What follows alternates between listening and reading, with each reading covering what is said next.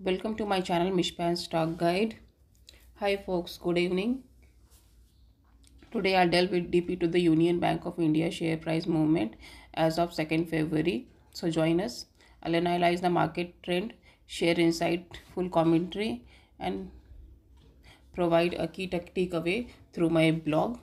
So please don't forget to take a link from uh, blog link and other link from the comment and description section. So I'll take you through the in the depth before we delve into the Union Bank of India specifics, let's take a look at broader market trend. It's crucial to understand the macroeconomic factor influencing the financial landscape. As we can see, the market has been experiencing such a bullish or bearish movement any significant event. So, so let's zoom and let's zoom into my uh, video and blog. As I said earlier, please find the blog. Another link will be commented.